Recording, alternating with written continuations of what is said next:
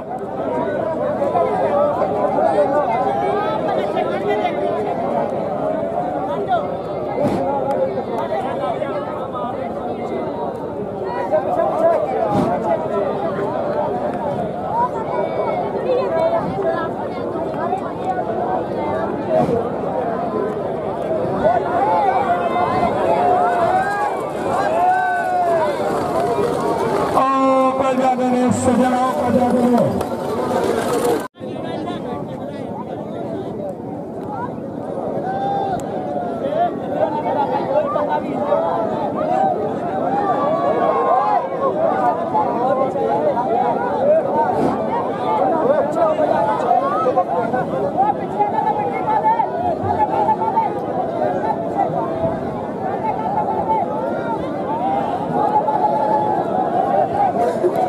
पीछे जी पीछे जी पीछे बादशाह आ गया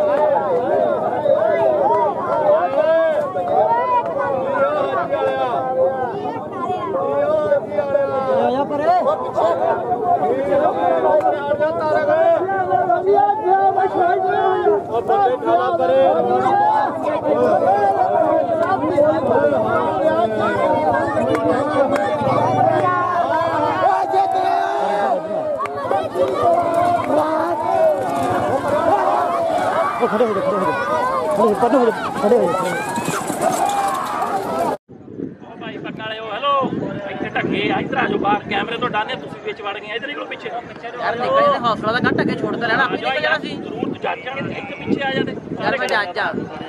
ਸਾਰੇ ਖੜੇ ਤੂੰ ਵੀ ਇੱਥੇ ਮੈਂ ਇੱਥੇ ਖੜਨਾ ਹੁਣ ਉਹ ਕੋਈ ਨਹੀਂ ਸ਼ਾਇਦ ਮੈਂ ਇੱਥੇ ਖੜਨਾ ਹਾਂ ਕੱਢ ਲਈ ਤੂੰ ਬਾਹਰ ਉਹ ਆ ਗਿਆ ਜੱਜ ਕਹਿਣ ਦੀ ਕਿਹੜੀ ਗੱਲ ਹੁੰਦਾ ਕਰ ਉਹ ਬੰਦਾ ਕੋਲ ਕਿਤੇ ਬੰਦੇ ਹੁਣ ਜੱਜ ਜਾਣਾ ਇਹਨੇ ਖੜਾ ਦੇ ਖੜਾ ਰਹਿਣ ਦੇ ਯਾਰ ਓਏ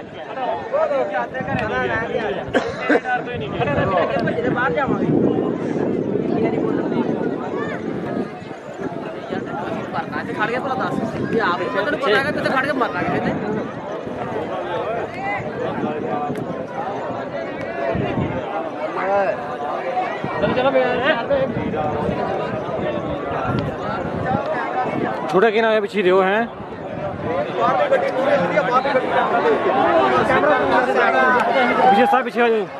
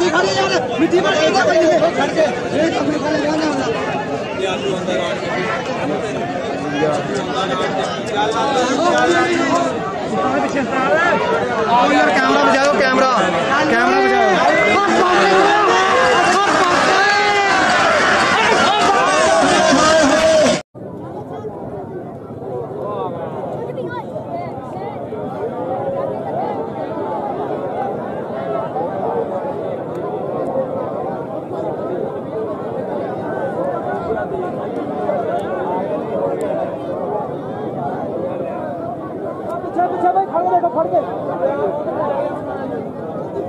ਕੇ